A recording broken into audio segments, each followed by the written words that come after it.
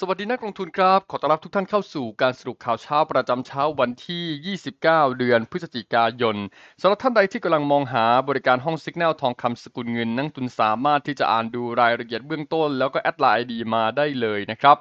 VT Market กับโปรโมชั่นใหม่ Lots of Go ใครสนใจคลิกเข้าไปดูรายละเอียดที่หน้าเว็บไซต์ Enso Capital Limited นะครับ ตอนนี้เขามีกลุ่มไลน์ให้เข้าร่วมฟรี กลุ่มนี้กลุ่มที่เอาไว้ใช้รายงานบทวิเคราะห์แบบเชิงลึกเลยนะ ใครสนใจก็สแกน QR Code เข้าไปได้เลย Forex for you ครับ กับโปรโมชั่นรับทองคำมูลค่าสูงสุดถึง 10,000 US ดอลลาร์เพียงเข้าร่วมการแข่งขันชิงทองคำไปกับโปรโมชั่นของเรา XM เปิดวิชิวันนี้ รับโบนัสฟรีทันที 30 US ดอลลาร์โดยที่ยังไม่ต้องฝากเงินครับ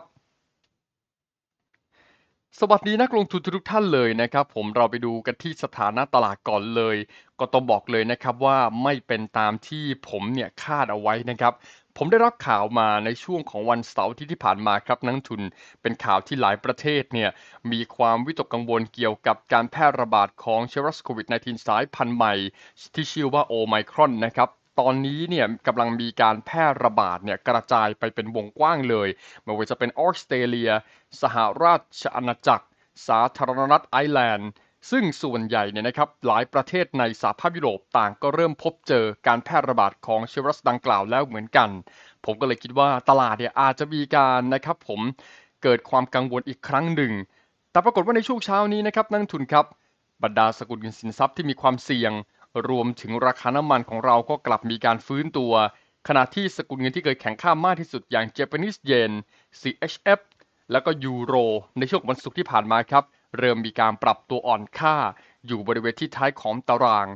นักทุนหลายๆ ท่านก็อาจจะสงสัยนะครับว่าเอ๊ะคุณครับแล้วมันเกิดอะไรขึ้นครับมันมีข่าวดีหรือเปล่า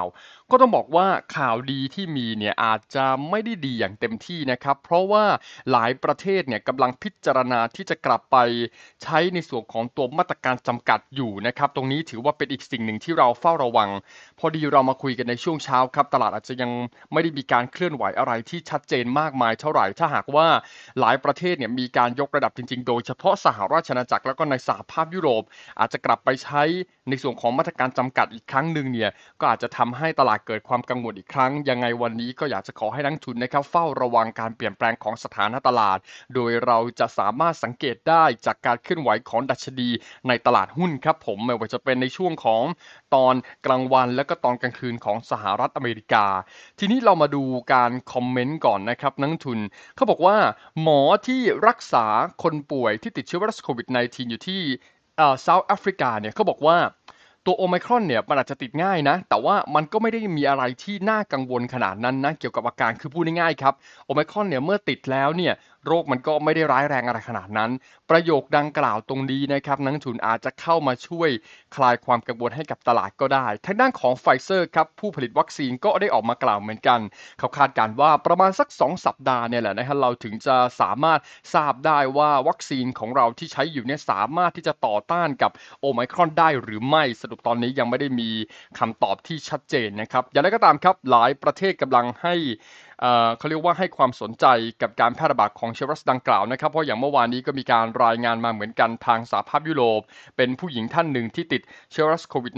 -19 สายพันธุ์โอไมครอนตรงนี้เนี่ยผลปรากฏว่าเธอไม่ได้เดินทางไปที่เซาท์แอฟริกานะครับ แต่ว่าเธอเดินทางไปที่อียิปต์ครับนักทุน แล้วก็เผลอติดโอไมครอนกลับมา แสดงว่ามันอาจจะมีการแพร่ระบาดมานานก่อนหน้านี้แล้วก็เป็นได้เหมือนกันครับ และนี่ก็คือการสรุปข่าวเช้าทั้งหมด สวัสดีครับ